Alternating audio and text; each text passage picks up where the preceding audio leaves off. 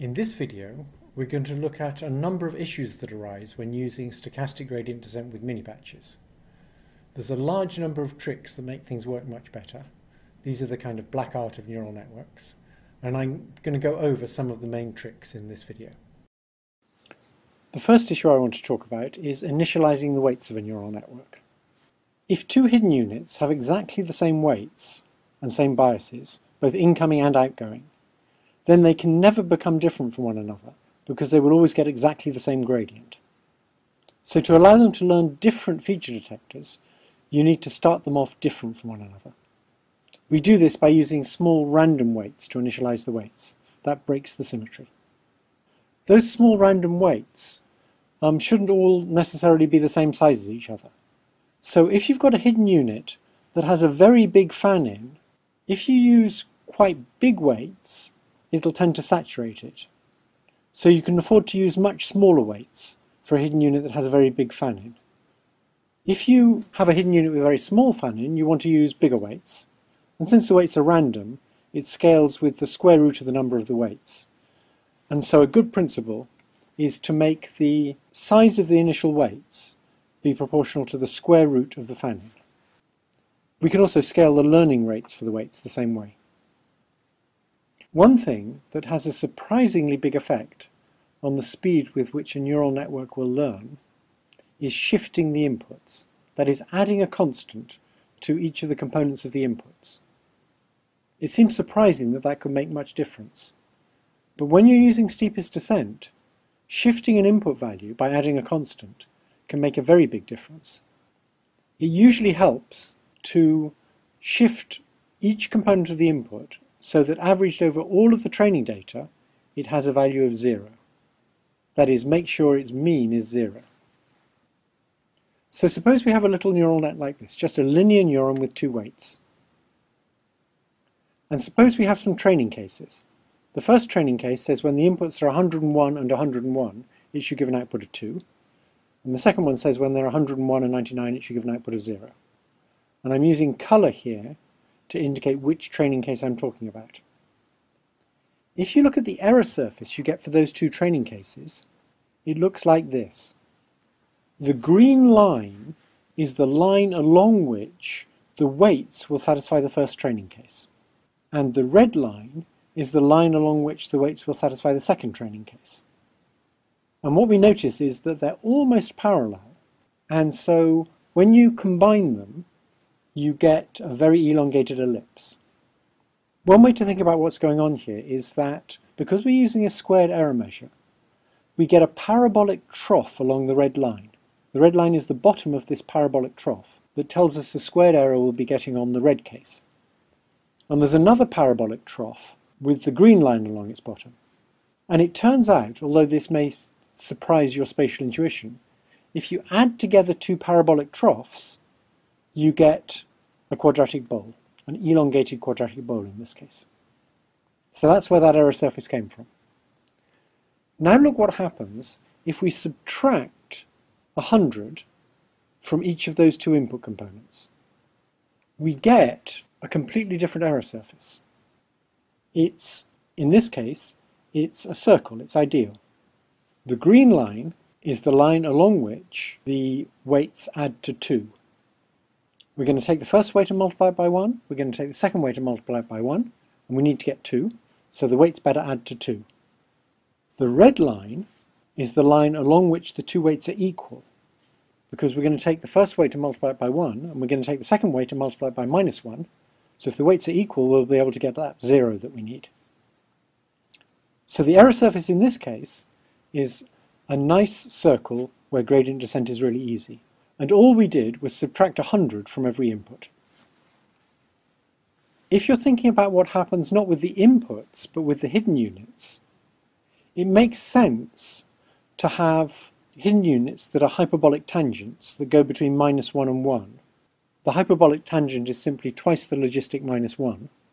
And the reason that makes sense is because then the activities of the hidden units are roughly mean zero, and that should make the learning faster in the next layer.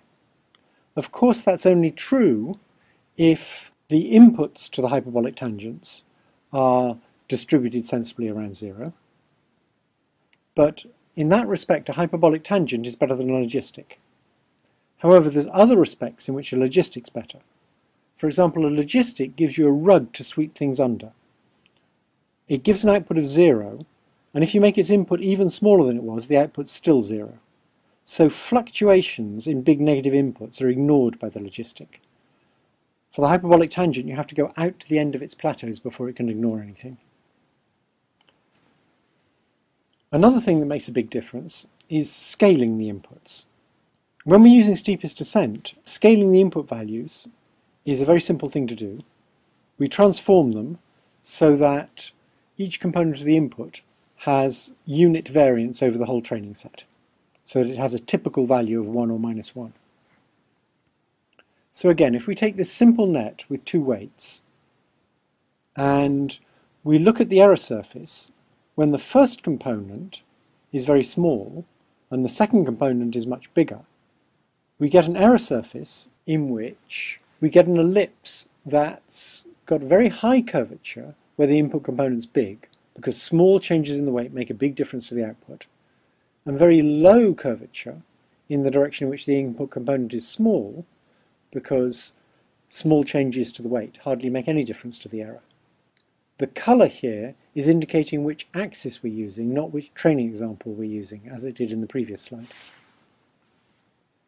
If we simply change the variance of the inputs, just rescale them, make the first component 10 times as big and the second component 10 times as small, we now get a nice circular error surface. Shifting and scaling the inputs is a very simple thing to do. There's something that's a bit more complicated that actually works even better because it's guaranteed to give you a circle, a circular error surface. At least it is for a linear neuron. What we do is we try and decorrelate the components of the input vectors. In other words, if you take two components and look at how they're correlated with one another over the whole training set, like if you remember the early example, how the number of portions of chips and the number of portions of ketchup might be highly correlated, we want to try and get rid of those correlations. That will make learning much easier. There's actually many ways to decorrelate things, for those of you who know about principal components analysis, a very sensible thing to do is apply principal components analysis, remove the components that have the smallest eigenvalues, which already achieves some dimensionality reduction, and then scale the remaining components by dividing them by the square roots of their eigenvalues. For a linear system, that will give you a circular error surface. If you don't know about principal components, we'll cover it later in the course. Once you've got a circular error surface, the gradient points straight towards the minimum, so learning is really easy.